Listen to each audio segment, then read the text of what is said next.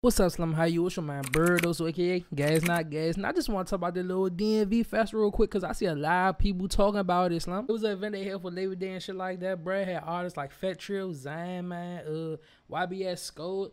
Oh, actually, first, let me get my shit off, Slim. I'm tired of saying outsider artists headline over our artists, fool. I know it was YBS yeah, I'm a young baller, all that other shit, bruh. He from Baltimore, shit like, bruh, no, bruh. His name shouldn't be over Xanman name. It shouldn't be over KB Skywalker name. Shit, shit ain't be over three comma name, bruh. I'm not even gonna hold you. It shouldn't be over none of our artists, bruh. That's what I don't want to say anymore, bruh. Skola even drop music anymore, bruh? That nigga might as well make a remix. I'm an old baller or some shit like that. They had everybody on that motherfucker. Everybody except the yo. Or at least that's what everybody pointing out. If you really look at it, bruh, they didn't have a lot of street niggas on there. Most of the motherfuckers that was on the ticket were street niggas, bruh.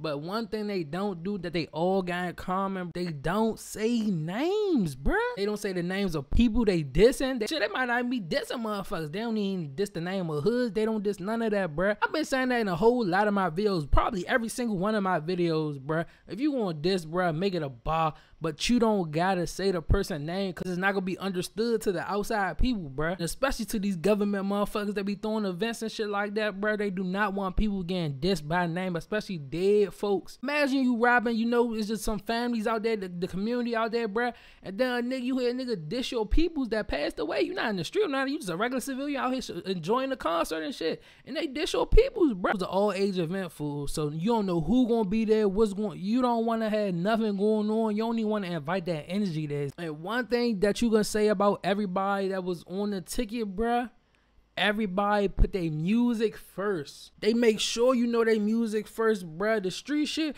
that's like a side thing, or it's like it, it, it play into the aura of their raps, fool. Or at least that's how they make it seem. You gotta look at the people that's actually blowing up, fool. Think about No Savage. If No Savage was home, bruh, No Savage would have headlined that shit, bruh. That's cause Savage realized he can't say a nigga name. He can't say your exact name, your nickname. He can't do none of that, bruh. All he can do is send subliminals that shit, even the niggas that know what's going on might not even catch. He learned that music more important than the street shit, bruh.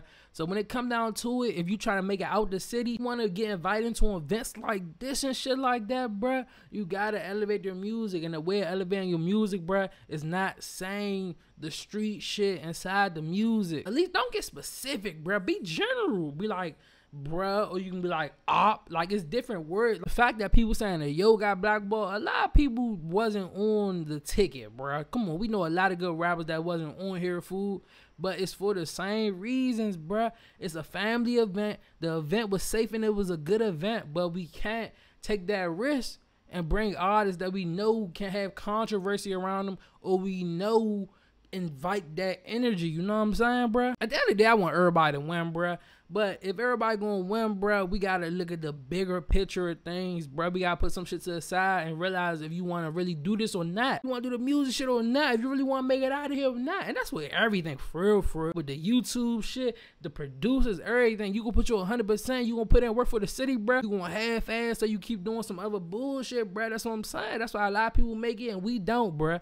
We need motherfuckers putting in the work that's really gonna put in the work, fool. It's like 1 o'clock in the morning. it's like 1 o'clock in the morning, bro. I just wanna come on here and say that, bro. Cause I seen a lot of people talking about that shit. Left the window open. If you hear crickets and switches, bro, I'm sorry, bro. It's torching in this jump. Shout out to the artists who uh, actually performed on the DMV Music Fest jump. Shout out to the artists that didn't perform, cause what y'all do, y'all put in y'all work. Y'all do what y'all gotta do to get the notoriety, bro. To get the eyes on you, get the eyes on you to where it's inevitable for them to even pick. They gotta pick you, bro. They don't pick you, then what the fuck is they doing? They ain't doing justice to the city. But if you disagree with anything I say or want to add something to it, or I'm just right here rambling talking about some bullshit, just let me know in the comments, Slim. You hear me? But yeah, Slim, you already know it's your man Bird, aka Gas Not Gas, and I'ma holler at y'all. Hey, like and subscribe, Slim, and y'all niggas be smart.